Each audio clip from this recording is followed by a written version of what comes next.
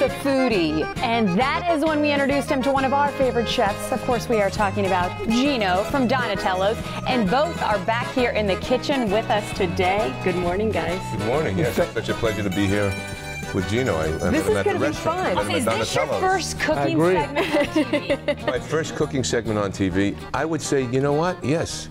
This Yes, is like we have it breaking right ground here. right now. I'm honored. Not yes, first time. Well, I thank wanted you for to do it having only us with back. the master chef. You know what I'm saying? God bless you. It's an honor.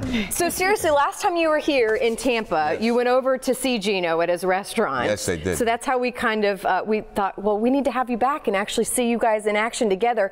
And when Robert walked into the studio this morning, you were already giving him a hard time. I have to. Well, we're going to make one of the dishes that you had in the restaurant that night Yes, about a year was ago. delicious. And then the other one was a broccoli rabe, which I made for you, the linguine, linguine Oh, fini. yes. With a broccoli rabe, Linguine aglio fini, olio, aglio which I made for you last time when Robert was here. And then we showed a clip of you uh, have, enjoying it in the restaurant. yeah. that was fun. So it's good to have that us the- here uh, together You have today. quite the audience today. I see that. I like it. Well, thank you for Well, the veal having Milanese is my favorite. Is that your favorite? dishes. Yes, yeah, I love that. Uh, So this is your first time friend. cooking in our studio, in our kitchen, No, maybe on TV. But do you cook TV. much at home? I cook a little bit, not much, but Okay. I can. Okay. I've been known to kind of, you know, destroy some food.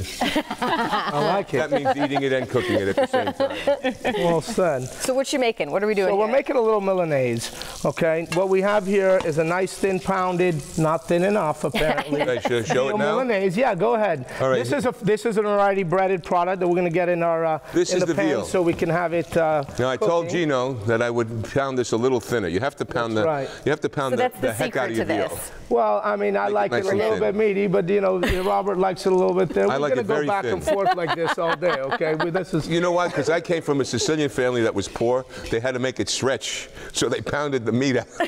there's a reason for everything. Right? I, I understand. so I got used to eating it like that. I gotta say, this might be the easiest Yeah. interview for Carly and I. I know. You sit guys back, take it away. guys Robert's. Robert's going to put in the pan, we just have a little bit of oil, a little bit of butter. Uh, Robert is uh, dipping the veal, just dusting it a little bit with flour. It helps the egg stick to Stick. the uh, meat. Go ahead and that's good. Just give it a little shake off. There you go, a little shake off and then right in the egg. Perfect. In the meantime, here we got if a he nice wasn't browning doing a going. good job, would you let him know? I, you better believe it.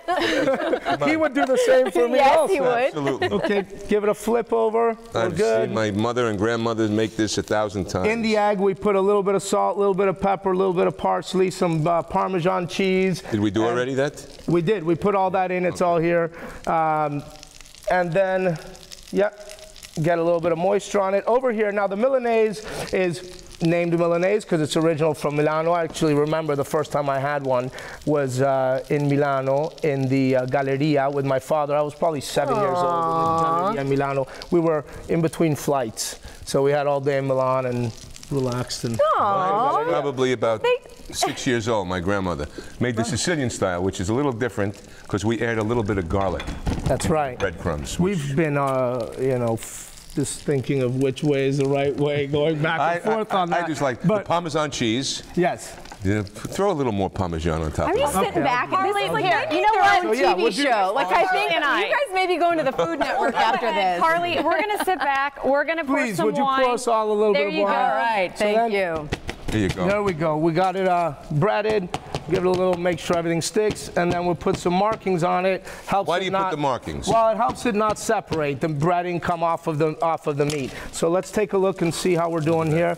I think that looks. That's golden that look? brown. Does That look looks all right? beautiful, Yeah, beautiful. we're doing okay. Perfect. Fantastic. While you're doing is- that, I do want to find out, Robert, why you're back in town. We love when you're Well, here, but I'm tell here- us what you've been up to. Well, uh, again, uh, Eddie and uh, Candy DeBartolo are friends of mine, Mm-hmm. and uh, they invited me to their foundation that their daughters run. Uh, Melissa, Mm-hmm. uh, not Melissa, um, their daughters run, and um, uh, so I came here for the first time to, uh, you know, uh, support that foundation. Yeah. It's a great uh, thing to have a big gala. I also did go to Candy's restaurant, The Sacred Pepper, which is, besides Donatello's, one of my favorite places to go. good, good. Yeah, they're Yeah, isn't it a great? Family, They're a great family. Agreed. Salute. Salute. Cheers. Senza fine. You know what that means? Right. With no end. With no end. Yes, sir. Senza fine. Instead of cent'anni, we say senza fine because a lot of people are reaching 100. So 100 years, you want to go senza fine. All right. So are we done here as we There- I know we want to drink, but we got to finish food, cooking. The Milanese is served many different ways. Now you Nice tell wine. me- What is it? That's a Monsanto. It's a nice light Very Tuscan. light. I mean, it's early in the morning. Yeah, you know, we're perfect. not having anything heavy. Still a So we're gonna do- Chianti. Now- I wake up to this. What is this here? Should I be Okay, getting now, on this? so the 'Cause we got Milanese, about a minute yeah. left. So let's do a little bit of this, A little salt. Okay. Okay.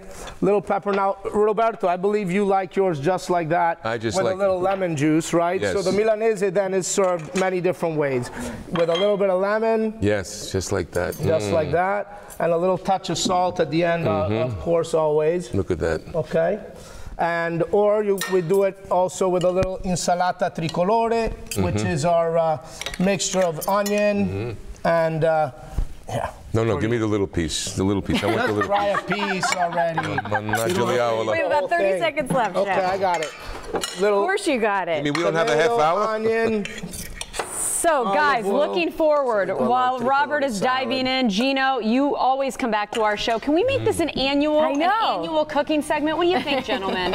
I think so. you think this is a good thing? I think we have to have a, uh, an anniversary.